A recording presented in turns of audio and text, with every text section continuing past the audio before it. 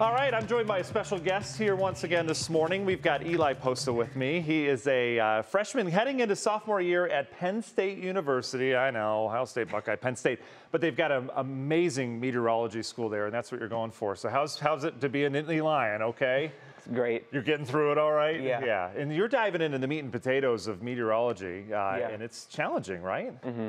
Yeah. Lots of lots of math and Yeah, science. lots of math, yeah. Most of the models do that for us. That's the good news. We don't have to do a lot of that in the real world, but you're getting through it, and we're proud of you because you're from Beachwood and you're going to go on to do great things, and we're here to help you along the way. Um, Eli, I asked him if he wanted to do the weather, and he said absolutely not. And so here he is. He's going to give the first half of the forecast. So Eli, the floor is all yours with the weather impact here on this Wednesday.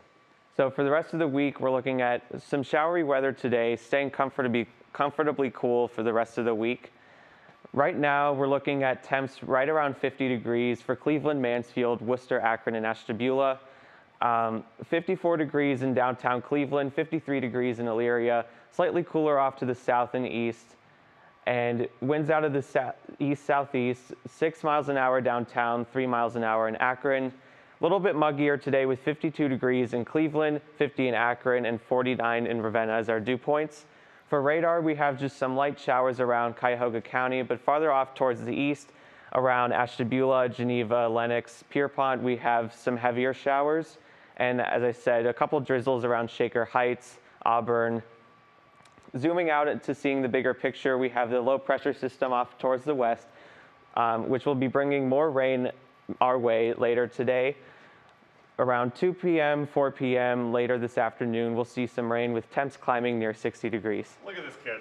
Awesome, buddy. That was so good. All right, let's give a round of applause. Yes, you at home, we can hear you. All right.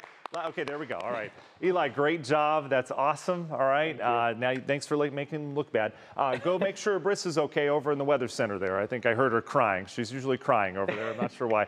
Uh, probably because she has to work with us. All right. Uh, your hourly forecast here brought to you by National Design Mart. Eli was mentioning that rain out east. A lot of that will lift towards the north, and then we'll just have a scattering of showers the rest of the day. Not a washout, but rain will be around on radar cool with the clouds and the showers only in the low 60s this afternoon. The low lifts north tonight, so as a result, we'll clear skies out. We'll be in the 50s, perhaps a little patchy fog tomorrow morning.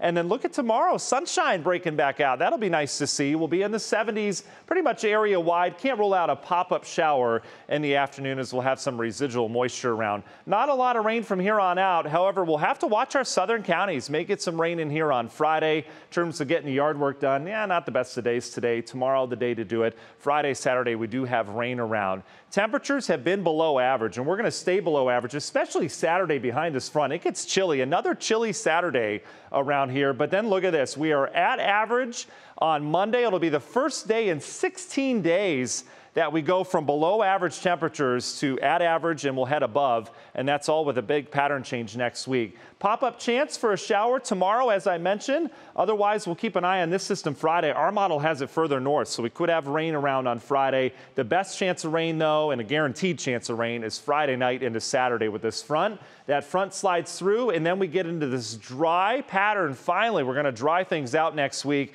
and we're going to warm things up as we replace this trough of cool air with the ridge that's been out west for much of the spring.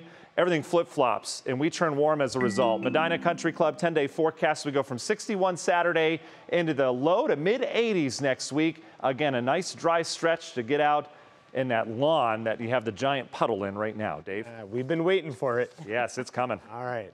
Matt, thanks.